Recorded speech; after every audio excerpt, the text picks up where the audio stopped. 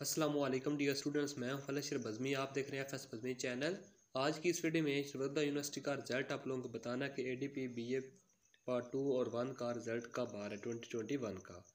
तो स्टूडेंट इससे पहले मैंने एक वीडियो बनाई थी जिसमें मैंने आप लोगों को बताया था सेकेंड वीक ऑफ़ नवंबर में इंशाल्लाह आप लोगों का रिज़ल्ट आ जाएगा। बकायदा आप लोगों को मैंने मेल दिखाई थी। तो स्टूडेंट्स आप लोगों को पता होना चाहिए, इस चीज़ का आइडिया होना चाहिए कि हम सिर्फ़ रिज़ल्ट कहते हैं। लेकिन रिज़ल्ट के पीछे जो प्रोसेस होता है, वो वो काफ़ी लंबा चौड़ा होता है।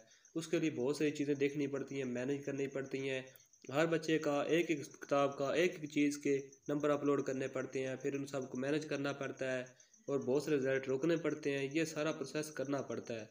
तो उस वक्त भी उन्होंने बताया था, हम वर्क कर रहे हैं, हमारा काम इस पर चल रहा है। तो मैंने मज़ीद बात की कि आप सेकंड वीक मतलब दोबारा मैंने उनसे बात की तो क्या वाकई सेकंड वीक में रिज़ल्ट आ रहा है? ये मैंने कन्फर्म किया। तो फिर हमें कहा कि रिज़ल्ट आ जाएगा।